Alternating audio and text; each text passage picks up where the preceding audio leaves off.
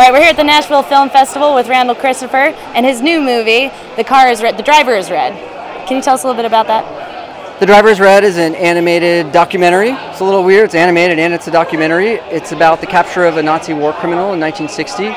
And it's been an incredible journey. I just started it in my sketchbook, not realizing when I had started it that we would end up at Sundance and we would end up winning lots of festivals. So it's been a wild ride, very surprising, but really, really fun.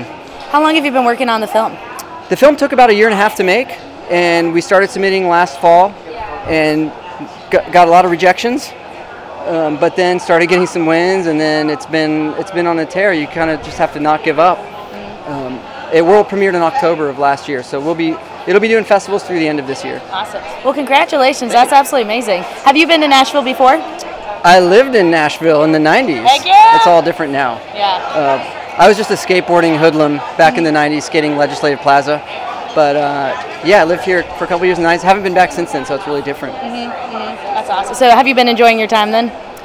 Yeah, it's been great. I, have I've made it made a point to have a couple extra days in you know outside of the festival to be here with old friends. Cool. Yeah. Awesome. Yeah. Well, I hope you enjoy the rest of the film festival. It's going to be a blast, and congratulations on your film.